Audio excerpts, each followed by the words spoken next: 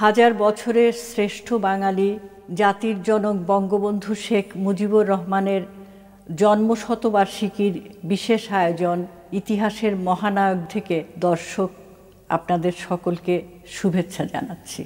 বঙ্গবন্ধুকে নিবেদিত কয়েকটি কবিতা নিয়ে আজকে আমরা কয়েকজন কবি উপস্থিত হয়েছি।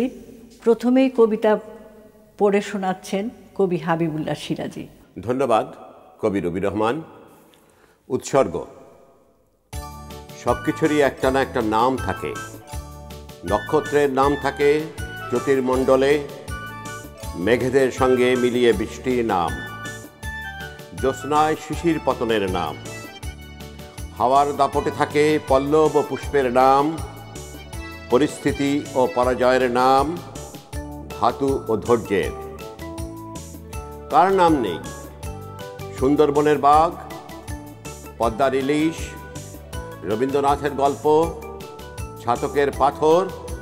না, নামহীন কিছু নেই। নাম এক প্রকার ভালোবাসা। কার সঙ্গে কার ভাব বোঝা দায়। নাম দীর্ঘ হয়, নাম বাড়ে, নাম ভাঙে। নতুন পুরনো নিয়ে নামে নামে কাড়াকাড়ি হয়। এভাবেই একদিন দেশের নাম বাংলাদেশ হয়ে গেলে মানুষের নাম হয় শেখ মুজিবুর রহমান। রক্তের গম্বুজ। তর্জনী তুলতেই আকাশ আমাদের হয়ে গেল। পা ফেলতেই চৌহদ্দে নির্দিষ্ট হয়ে গেল। এবং তাকাতেই প্রবাহিত হতে থাকল নদী। তার কণ্ঠস্বরে সূর্য ও সবুজ এক হলো আমার সোনার বাংলা। স্বপ্ন ডাক দিয়েছিল টুঙ্গিপাড়ায়। সাতচল্লিশে বনে বনে বাঘ বায়ান্নর কুমির ভেসে যায় ভাটায়। সুন্দরী কাঠের নাও পাল তুলতেই পদ্মা যমুনা মেশে বঙ্গোপসাগরে। ছেষট্টি ফরফর ওড়ে চৌচির মাটি। ঊনসত্তর পরে মচমচে বুটে ও চকচকে সত্তর পার হয় সাহসে। একাত্তরে কলসুপুর রক্ত ও বৃষ্টি, অস্থি ও অঙ্গার, ভয় ও ক্রোধের মধ্যে পাক ও ঘৃণা, শুয়োরগুলো খেদা। বত্রিশ নম্বর এখন, রক্তের গম্বুজ। তার চূড়ায় মূল দলিল, নকশা আর পর্চা। এবারে কবিতা পাঠ করবেন কবি রবি রহমান। ধন্যবাদ কবি হাবিবুল্লাহ সিরাজি। কবিতার শিরোনাম বাংলার প্রমিথিউস। কবিতাটি বঙ্গবন্ধুকে নিবেদিত। ও প্রিয় প্রমিথিউস, একবার দেখে যাও তুমি। ঘরময় বাক্স প্যাঁটরা তল্পিতল্পা হুলস্থুল করে বসে আছি। এ শহরে কোনো গৃহে দুয়ারে প্রস্তুত নেই গাড়ি। আজীবন অপ্রস্তুত বসে আছি অনন্ত সময়। অনাদি অনন্তকাল জানি না গন্তব্য কোন দিকে। দিক চিহ্নহীন দেশে হুলস্থুল হয়ে বসে আছি। জানলায় ওড়ে না নীল পর্দা, ঘরে পুষ্পাধার নেই। লণ্ডভণ্ড হয়ে যাচ্ছে স্বপ্ন, শোভা, লাবণ্য, প্রতিভা।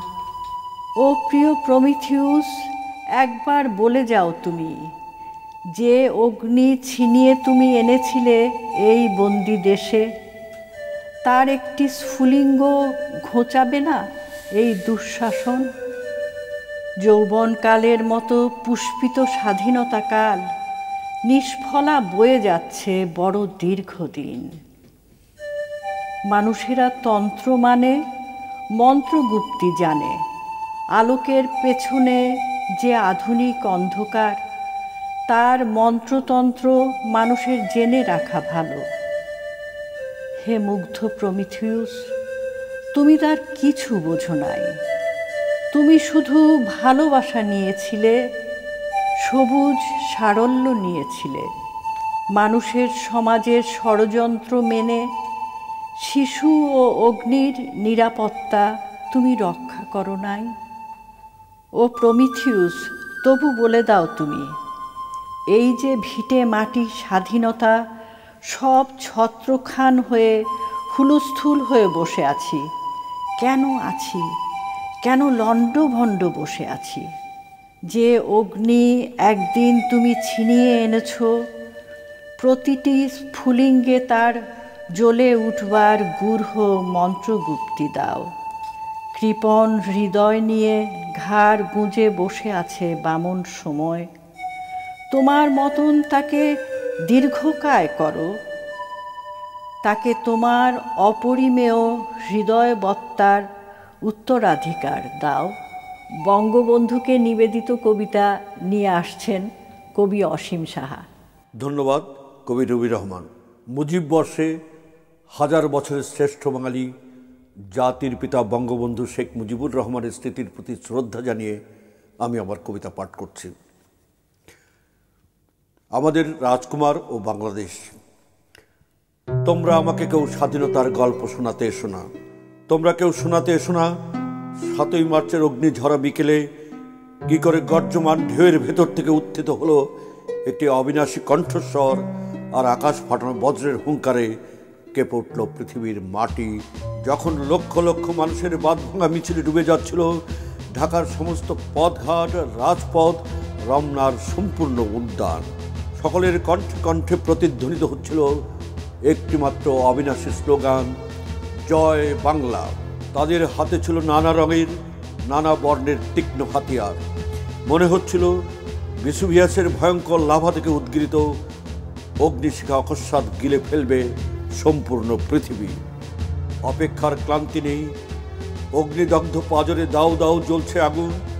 ঠিক তক্ষণি লক্ষ্য কণ্ঠের উদ্দীপ্ত স্লোগানে স্লোগানে ভরা সমুদ্রের ঢেউয়ের ভেতর দিয়ে উদ্ধত ভঙ্গিমায় মঞ্চে উঠে এলেন আমাদের প্রিয় এক দৃপ্ত রাজকুমার। গায়ে তার সফেদ পাঞ্জাবি, পরনে চিরশুভ্র পায়জামা আর সারা শরীরে আত্মীয়ের মতো জড়িয়ে থাকা দীপ্ত কালো কোট, ব্যাগদাস চুল, মুখে সেই দৃপ্ত ভঙ্গিমা, মাইকের সামনে এসে দাঁড়ালেন যেই সঙ্গে সঙ্গে সম্পূর্ণ ময়দান কাঁপিয়ে লক্ষ লক্ষ মানুষের গগনবিদের চিৎকারে মুখরিত হয়ে উঠল বাংলার আকাশ বাতাস। তারপর শান্ত নদীর মতো নিস্তব্ধতা নেমে এলো। মার্চের বিকেলের মাঠে একটি কণ্ঠ থেকে কি গান আসবে ভেসে? সেরকম প্রতীক্ষায় কেটে যাচ্ছে নিঃশব্দ প্রহর। সংশয় দুলে উঠছে প্রাণ অশ্রুতে ভিজে যাচ্ছে চোখ। সেই মুহূর্তে প্রিয়তম বজ্রকণ্ঠে উচ্চারিত হলো সেই মর্মবেদী বাণী। এবারের সংগ্রাম আমাদের মুক্তির সংগ্রাম, এবারের সংগ্রাম স্বাধীনতার সংগ্রাম। তখন থেকেই আমরা মুক্ত হলাম। তখন থেকেই স্বাধীনতা শব্দটি আকাশ, পাতাল পৃথিবী এবং সৌরমণ্ডল ছাপিয়ে ছড়িয়ে গেল ছাব্বিশে মার্চের মধ্যরাতের দিকে। অতঃপর নয় মার্চ যুদ্ধ শেষে পৃথিবীর মানচিত্রে সূর্যোদয়ের মতো ফুটে উঠল নতুন এক স্বদেশের নাম, বাংলাদেশ বাংলাদেশ বাংলাদেশ।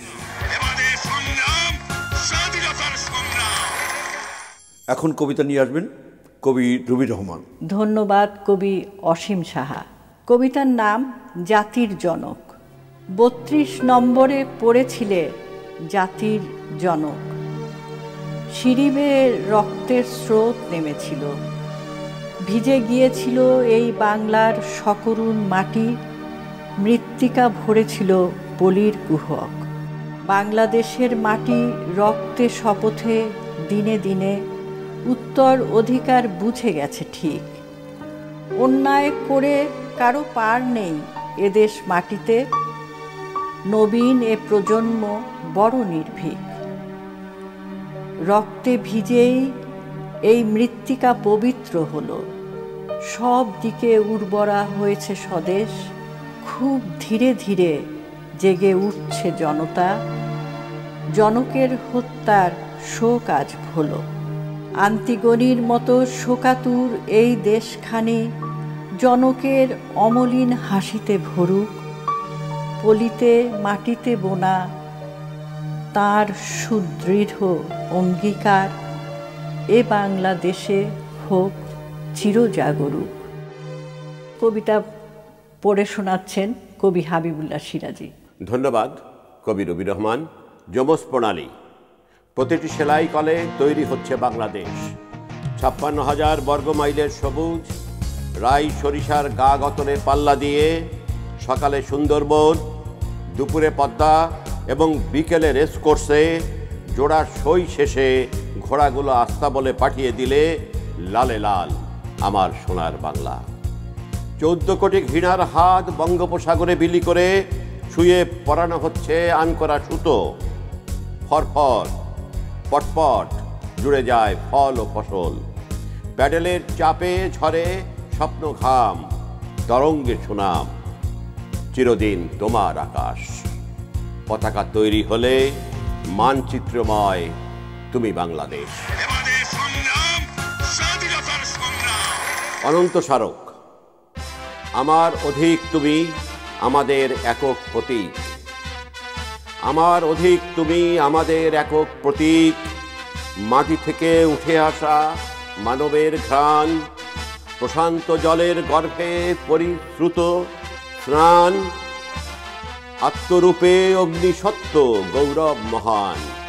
অনাদি বায়ুর শর্তে মৌলিক উত্থান, অসীমের দীপ্রযোগে বাঙালির মান। আমার অধিক তুমি আমাদের একক লৌকিক আমার অস্তিত্ব তুমি, আমাদের একক ধারক, একজন বন্ধু তুমি, বঙ্গময় অনন্ত স্মারক। এবারে কবিতা পাঠ করবেন কবি অসীম সাহা। ধন্যবাদ কবি হাবিবুল্লাহ সিরাজি, তার নিজস্ব গন্তব্যে। খুব ধীরে ধীরে তিনি সিঁড়ির প্রান্তে এসে দাঁড়ালেন। বোয়াজ্জিনের কণ্ঠে তখনও প্রতিধ্বনিত হয়নি বন্দনা গান। নিদ্রামগ্ন কাকেরা জেগে উঠে উন্মাতাল করে তোলেনি আকাশকে। শিশির ভেজা ঘাসগুলো সূর্যের আলোর প্রত্যাশায় আড়মোড়া ভেঙে জেগে উঠবার আয়োজন করেনি তখনও। অন্ধকার সরে গিয়ে আলোর পর্দায় প্রতিফলিত হয়নি পৃথিবীকে স্বচ্ছ করে তোলার প্রস্তুতি। চরাচরকে এত শান্ত, এত কোলাহলহীন মনে হয়নি আর কখনো, যেন পৃথিবীতে এরকম শান্তি কখনো ছিল না। এ সময় আকাশের পর্দা ফাটিয়ে ভয়ানক বেগে গর্জন করে উঠল মৃত্যু। তারই শব্দে কেঁপে উঠল পৃথিবী। আর্তনাদ আর কোলাহল জড়াজড়ি করে এমন প্রবল হয়ে উঠল যে তিনি আর ভেতরে স্থির থাকতে পারলেন না। রাত্রির পোশাকেই ঘর থেকে বাইরে বেরিয়ে সিঁড়ির প্রান্তে এসে দাঁড়ালেন। হাতে তখনও তার প্রিয় পাইপ চোখের চশমায় প্রতিফলিত বিস্ময়কর আলো একবার ঝলসে উঠেই পিছতে পড়ে হারিয়ে গেল অন্ধকারে। হার ভেতর তার বজ্রকণ্ঠ আশ্রে পড়ল। কে? তখন জলপাই রঙের পোশাকে আবৃত। সৈনিকেরা অস্ত্র হাতে চিৎকার করে উঠল, ওই তো ওই তো হত্যা করো ওকে। একটি পাতা বৃক্ষ থেকে উড়ে সে ক্ষমা প্রার্থনার ভঙ্গিতে উপর হয়ে পড়ে রইল তার পায়ের কাছে। কেউ তার চোখের দিকে তাকালো না। তার চোখের দুটির আড়ালে ঢাকা পড়ল তাদের কুৎসিত চিৎকার। এক ঝলক বাতাস এসে তার চুলের ওপর আসতে পড়লে তিনি হাত দিয়ে তা পেছনে সরিয়ে দিয়ে বজ্র গম্ভীর স্বরে বলে উঠলেন, কি চাই তোদের? সঙ্গে সঙ্গে একটি স্বয়ংক্রিয় অস্ত্র গর্জন করে উঠল। রক্তাক্ত ক্ষত বিক্ষত দেহে তিনি লুটিয়ে পড়লেন সিঁড়ির ওপরে। দিগন্ত থেকে দিগন্তে যাদের উন্মত্ত ক্রোধ বিকীর্ণ হয়ে ছড়িয়ে পড়ল, তারা সেই বিশালকায় দেহকে সেখানে পেলে রেখে ভোরের আলোয় দ্রুত সরে গেল দৃশ্যের আড়ালে। আর অস্ত্রের ভয়ানক গর্জনে নিদ্রমগ্ন কাকেরা তোল পার করল মহাদিগন্ত। হিমেলা হওয়ার চাপা গুগানি ভারাক্রান্ত করে তুলল ভোরের বাতাস। একপাল কুকুরের আকস্মিক চিৎকারে ভেঙে খান খান হয়ে গেল নৈশব্দ। দিঘির জলে স্তব্ধ মাছেরা লেজের ঝাপটায় শূন্যতাকে ভেঙে টুকরো টুকরো করে চিরকালের জন্য মিলিয়ে গেল পাতালে। আকাশের নক্ষত্রেরা শোকাহত আত্মীয়ের মতো অসহায় তাকে রইল মহাকালের দিকে। নিতর দেহের ভারে তার চোখের সামনে ভেসে উঠল সেই ছোট্ট নদী, যার উত্তাল জলে লাফিয়ে পড়া ছোট্ট কিশোরের আনন্দিত অনুভবে একদিন হেসে উঠেছিল দুপাড়ের মাটি। আজ তার বুকে মুখ লুকিয়ে কাঁদতে কাঁদতে অবশ হয়ে এলো দেহ। মনে হলো, আহা, তার কত আকাঙ্ক্ষাই পূর্ণ হলো না। জীবন আর যৌবনের যে দিনগুলো লোহার খাঁচায় বন্দিত্ব বরণ করতে করতে শূন্যতায় ডুবে গেল। রবীন্দ্রনাথের একটি গানকে চিরকালের করে তুলতে, যে জীবন মৃত্যুকে আলিঙ্গন করতে করতেও থেমে গেল মধ্যপথে, যারা এক অরফিউসের বিনার অরুণানন থামিয়ে দিতে রক্তপাতকেই নির্দিষ্ট নিয়তি বলে ঘোষণা করে দিল, তিনি শেষবারের মতো হাত তুলে তাদেরকে ক্ষমা করে দিলেন। যে হ্যামিলনের বাঁশির শব্দে মানুষ, পাখি, বৃক্ষ, উদ্ভিদ একদিন তার পিছু পিছু উন্মাদের মতো ছুটে গিয়েছিল, আজ তার বাঁশির সুর ঝঙ্কৃত হবার আগেই। তারা পালিয়ে গেল দূরে, শুধু ভূমিপুত্র ও কন্যারা স্তব্ধ হয়ে বসে রইল ধানের খেতে মাথার মাথাল ফেলে দিয়ে তারা বুক চাপড়াতে চাপড়াতে বিলাপ করতে লাগল। ধানের শীষের ভার্ত কাঁপনে তাদের বিলাপ ভাসিয়ে নিয়ে গেল দক্ষিণের হাওয়া। একাত্তরের মতো আরেকবার বুটের শব্দে কেঁপে উঠল স্বদেশের মাটি। অবশেষে যেই নগরীতে তার জীবন বয়ে গেছে বিদ্যুতের বেগে, সেই প্রিয়তমার নগরী তাকে বিদায় জানালো চিরকালের জন্যে। কিন্তু যেই নদীতে ঝাঁপিয়ে পড়ে দুরন্ত কিশোর, জানিয়ে দিয়েছিল স্রোতস্বিনীকে সে বয়ে যাবে পৃথিবীর সর্বশেষ সীমান্ত অবধি। সেই মধুমতি কেঁদে কেঁদে আকুল হলো, কেবল সেই তাকে পরম আদরে টেনে নিল তার বুকে।